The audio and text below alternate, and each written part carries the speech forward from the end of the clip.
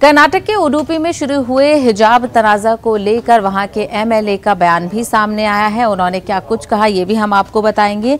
रघुपति भट्ट का इस मामले में बयान सामने आया है। आपको बता दें कि रघुपति भट्ट के मुताबिक कॉलेज में हिजाब के लिए एहतजाज करने वाली तलबात का ताल्लुक पीएफआई से उन्होंने बताया है।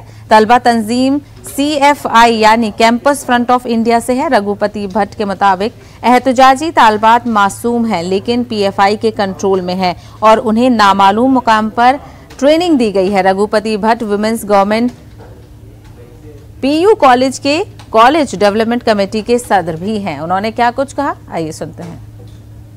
They want a political gain in this. Th- That, is their political game.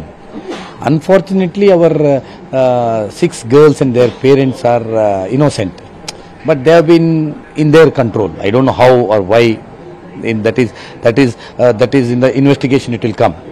I, I already uh, spoke it. No, they had a uh, special training, all these things, and also about their tweets. These six girls been given special 12, 12, 12 girls have been uh, undergone a special training in a hidden place.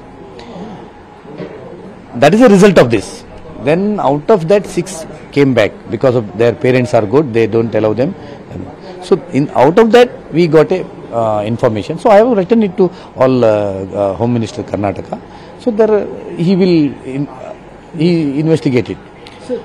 So, uh, that girls also, if you see, I told it, even after their contact, they have opened the Twitter account in the October end and November. If you see their activated accounts, these my students, all uh, um, our campus friends, uh, uh, what agendas have been forwarded.